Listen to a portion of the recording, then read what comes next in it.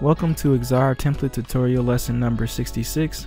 In this tutorial, we're going to talk about a new feature in the Xara Web Designer MX Premium version 8 of the Xara software. And we're going to talk about the live effect tool. And if you look on my screen right now, you'll see some of the things that I've created using the live effect tool. And you can see that we got these really cool looking swirly type of logos. And I believe that the live effect tool will allow you to create not only fancy logos, but it will also allow you to spice up your site a little bit and make it stand out from your competitors. So I highly recommend experimenting with the live effect tool. But if you haven't already, go ahead and start a blank new document in the Xara software. And once you do that, let's go ahead and draw a rectangle in our workspace.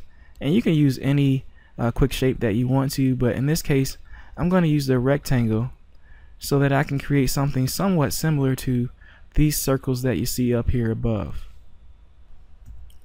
So after you've created uh, the rectangle down here, I want you to go ahead and go to the live effect tool here in the toolbar and it looks kind of like a plugin icon. So once you click on that, you're going to go to the upper left hand corner of your document in the info bar and you're going to click on the new button here that says new and it's going to help you add a new effect to that rectangle that we just drew. And we're going to go to the deformation filter option. And the pop out menu is going to pop out. And you're going to go to concentric waves. You're going to left click on that. And when you do that you'll get this pop-up menu that you see right here. And this is going to allow you to adjust the parameters for the concentric waves. So first thing that we're going to do is we're going to lower the wavelength all the way down. And you notice that, that nothing happens. But let's go ahead and move the amplitude all the way up. And when you move the amplitude all the way up, you see that we get this fancy pattern here. But I'm actually going to lower my amplitude because it's way too strong. And I'm going to increase the wavelength so that it looks somewhat more similar to what we have up above. So I'm going to lower it about a 23 and I'm going to adjust the amplitude down a little bit and you can start to see that we get something that looks really unique as we adjust the parameters. So I'm going to bring the wavelength in up a little, just a little bit more, and I'm going to adjust the amplitude some more as well. So you gotta kind of got to play with it until you get the right uh, parameters that you're looking for. And I think this is close enough to um, showing a circular pattern. So I'm going to close that out. And then I'm going to select my selection tool and I'm going to adjust this uh, circular pattern and make it smaller. And then after I make it smaller, I'm going to go back to the live effect tool in the toolbar and I'm going to adjust the DPI in the info bar.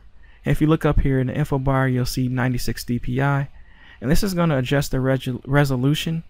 I'm going to set it to 200 DPI. And you see again that it looks a lot more cleaner than what it did before. And it looks a lot closer to some of the samples that we have up here at the top.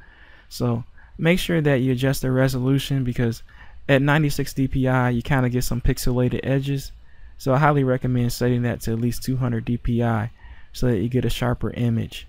So that's how you make a circular pattern like the one we have up here. Uh, hopefully you were able to follow me. Uh, I don't think it was too hard. I did go a little bit faster and one of the reasons for that is I expect you guys to get a little bit more familiar with the program and be able to move a little bit faster. So uh, I hope that that wasn't too quickly for you.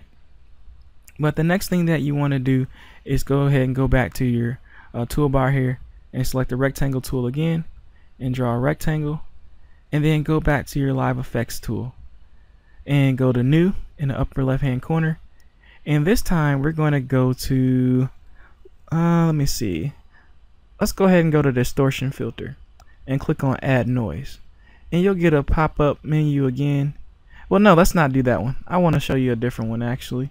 Let's go to... Um, trying to find one that, that will give you a nice look. Let's go to distortion filter and go to diffuse. And we're to make this rectangle show the diffuse effect using the filter. So let's increase horizontal and you'll see that horizontally we get this kind of almost like an explosion kind of look. And if we increase the vertical, we get more of an explosion from a vertical standpoint as well. And the more you increase these factors, the more it looks pixelated or like an explosion, I should say. And so that's another effect that you could apply using the filter effects using the live effect tool. And maybe I wanted to put this behind my circle.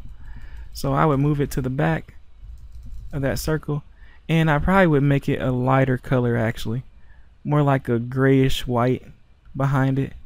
And that could kind of add to more of the essence of this particular design. And I actually probably would want to even lighten it up even a little bit more. And it kind of adds a texture now to this logo. And it adds more depth to it. So hopefully you can see that on screen. I don't know if you can. It's kind of a light pixelated uh, texture. But these are some of the ways that you can use the live effect tool to add some essence to your designs and make it really stand out from your competitors. So I hope that you enjoyed this tutorial and that it showed you the value in using the live effects tool. And if you have any questions or you would like to learn how to use a specific tool in terms of the live effects tool, um, just send us a message and we'll do our best to help you. And don't forget to subscribe or embed or comment or give feedback on this video. Give us a thumbs up if it was helpful. And stay tuned for future tutorials.